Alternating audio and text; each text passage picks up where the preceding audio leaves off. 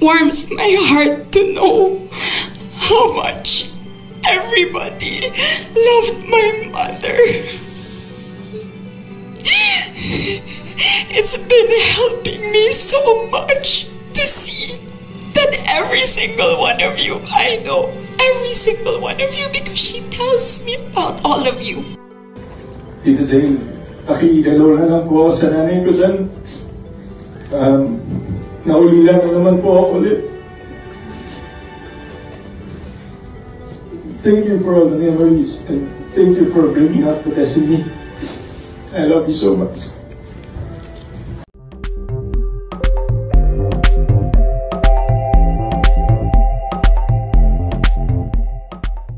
Nagpaabot umano si Andy Eigenman ng kanyang pasasalamat sa mga kaibigan ng kanyang yumaong ina na si Jacqueline Jose mula sa GMA Network. Sa kanyang eulogy, ay hindi maiwasan ni Andy na ibuhos ang luha nang malaman kung gaano minahal ng mga kaibigan at taga-suporta ang kanyang ina. Marami ring artista ang nagbigay ng kanilang mensahe sa aktres, kabilang na ang madamdaming eulogy ni Alden Richards. Nakita rin umano ang pagdalaw ni Dingdong Dantes, at ilan pang mga kapuso stars. Narito at panoorin po natin, ang mga nakakaiyak na tagpo. Everybody, um, I, I would just like to take this chance to say thank you in behalf of my nanay's family. Um, thank you to GMA for for this, for what you prepared um, in order to celebrate and commemorate my, my mom and all her years um, throughout her career. And it's not, not new to me, not a surprise to me to hear more stories from people um, whom she worked with. Um, the more I learned that with her, with her life, it's not just about going to work, staying with family, you know. It's every single bit of her life is always filled and showered with love. May it be for what she does or for the people that she is surrounded with. And again, um, several nights I've been saying this every night. It warms my heart to know how much everybody loved my mother. It's been helping me so much to see that every single one of you, I know every single one of you because she tells me about all of you. It's so amazing for me to see how much you guys love her so much. Thank you.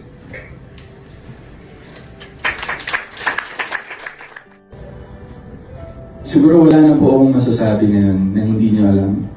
Both sa mga katrabaho and both sa family din po at the same time.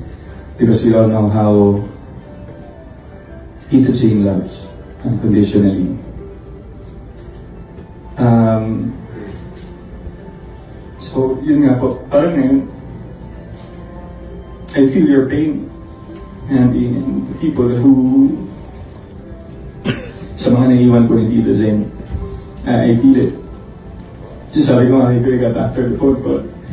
Sabi ko, Kuya Gab, uh, let me know how I can help. Kasi nanay ko rin yan. So parang ang dating, yung, yung nararamdaman ko po ngayon is the same feeling I felt when my mom left us. Parang bumalik So, I will not keep this long. Uh, saan pa pumapunta eh. Um, Na po.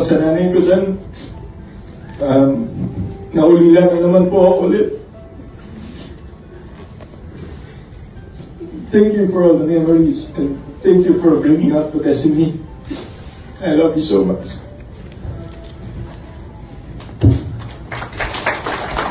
I, I lost someone special. I, I, lo- I really lost someone special.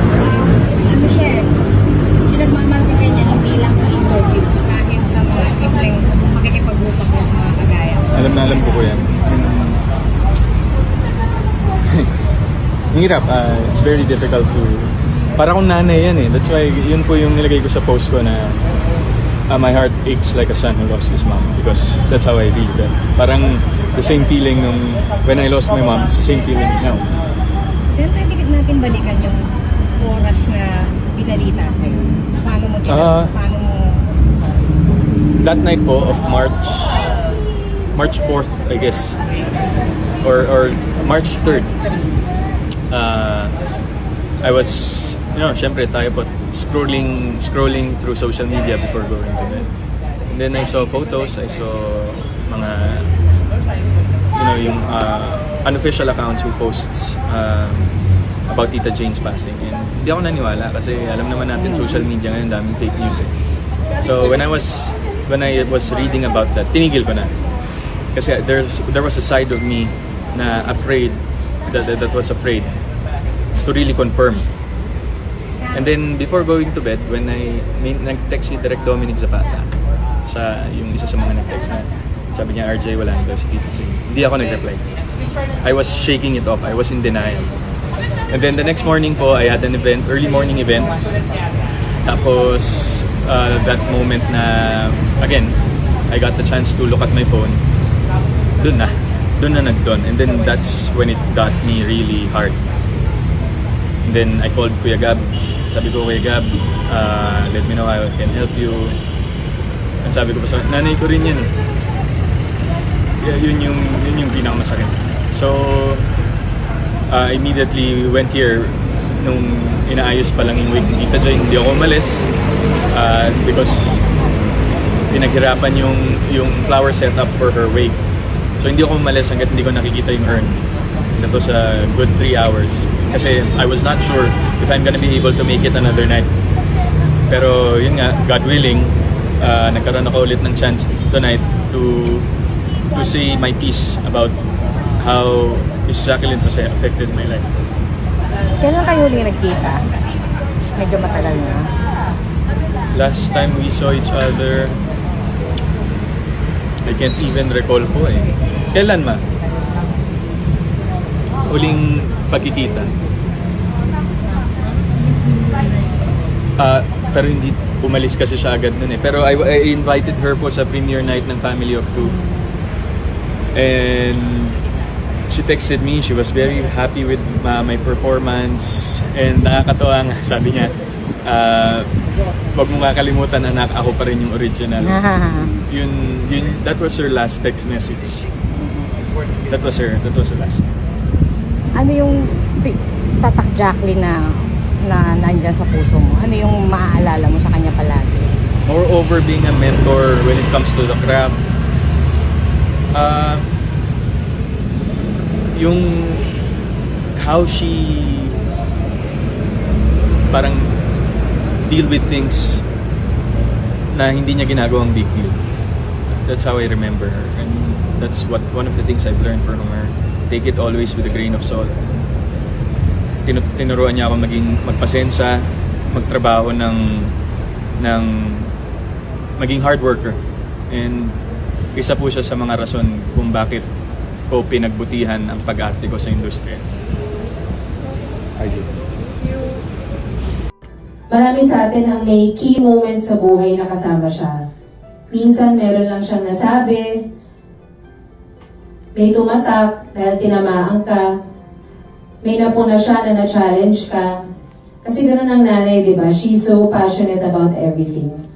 At alam mo na kapag may sinabi siya, minimin niya yon. So nanay, ang dasal ko lang sana masaya ka sa nakikita mo ngayon. Dahil ang dami namin na may baon talaga mula sa'yo. Ako ang dami ko ng mannerisms na nakuha dahil sa'yo.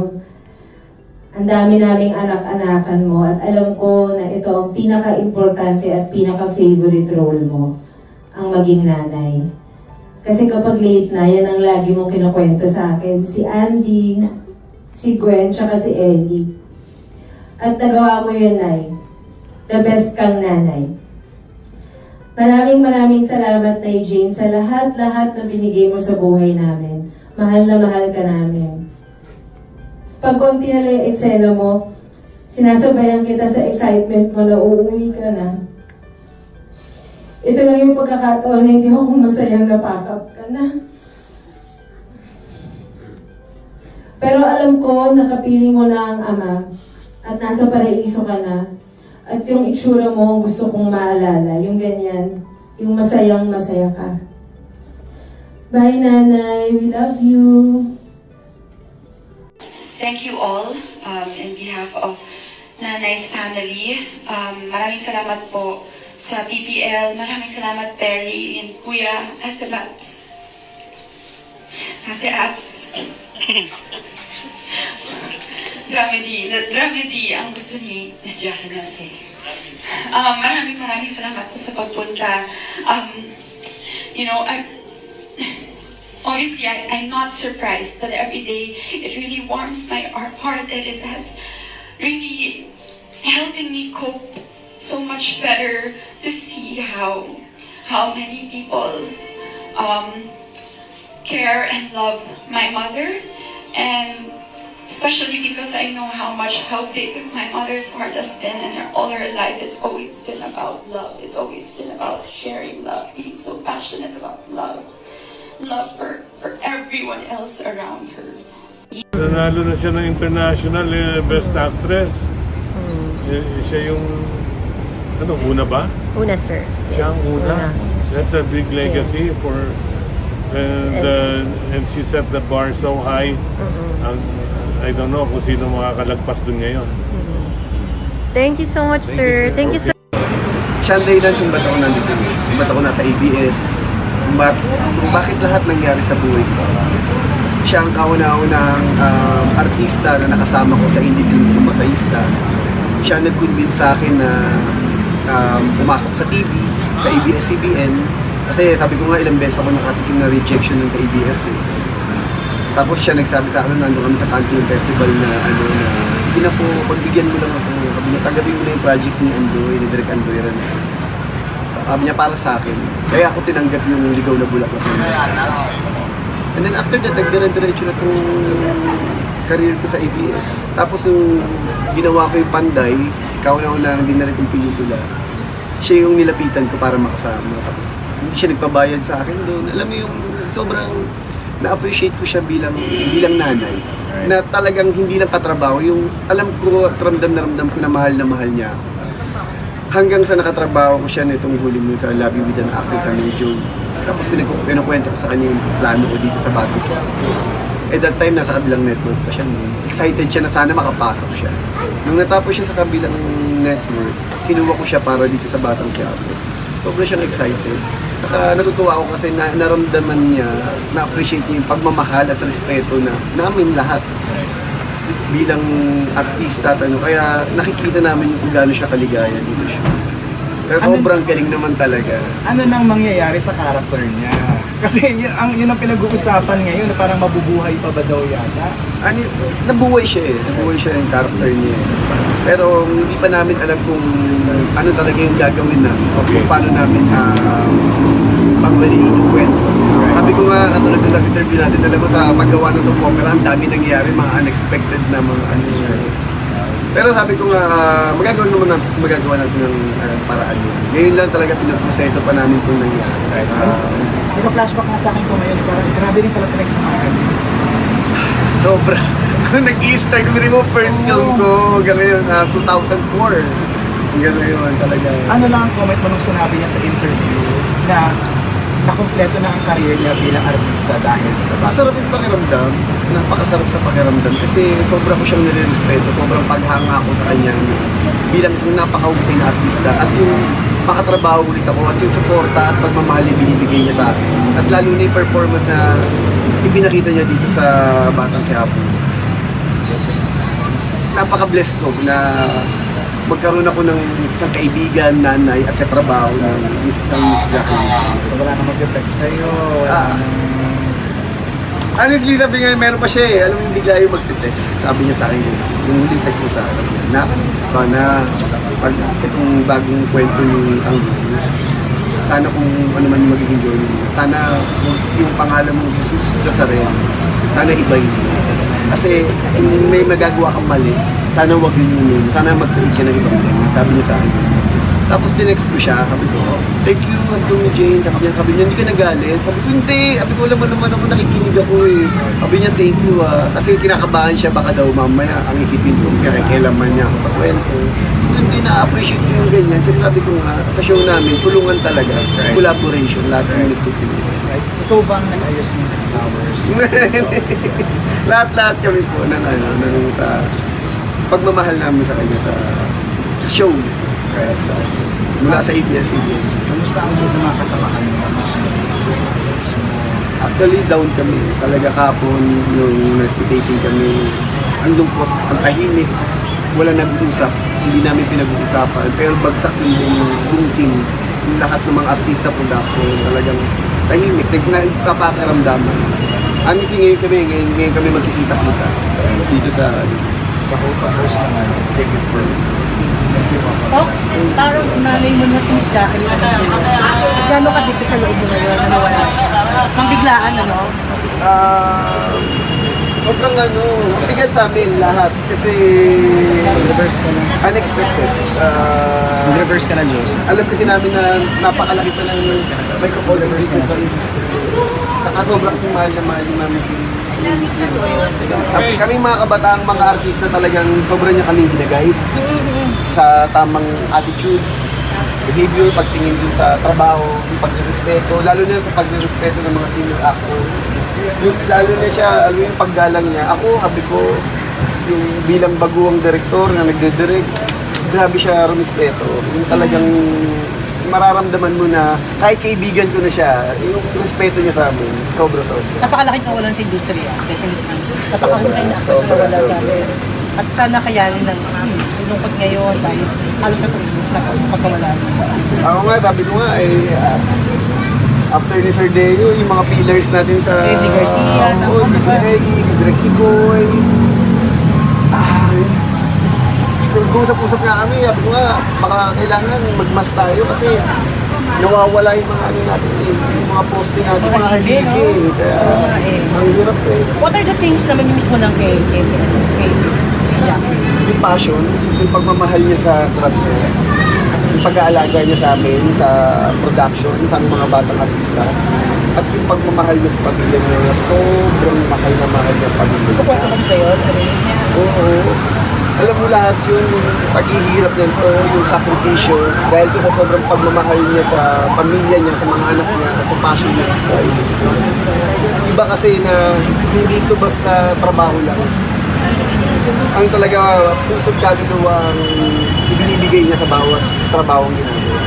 Papa, last scene na kinunan mo kay, ano, kay Jacqueline, dun sa eksena nagpaalam ako na lalaya na ako. Kaya nga parang ano eh. Parang, eh. parang real na nagpaalam ka. Saka yung memories na, yun nga, after that, nag-usap kami dun sa labas ng tent niya, kinuwento ko sa kanya yung tatakbuhin ng character niya.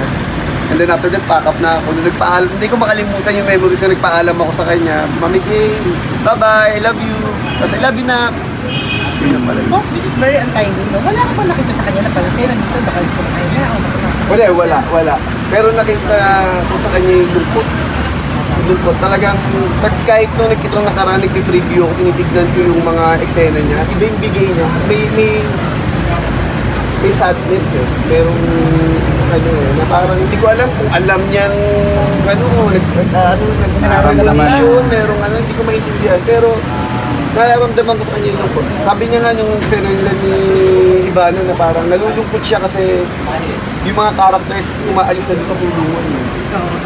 How hard for you na as a director na tapusin din yung character niya sa ano? Hindi ko pa alam, hindi pa namin alam kung anong gagawin talaga namin. Um, ayaw muna namin isipin kasi pinuproseso pa namin eh. Pero alam namin magagawa namin ito ng paraan.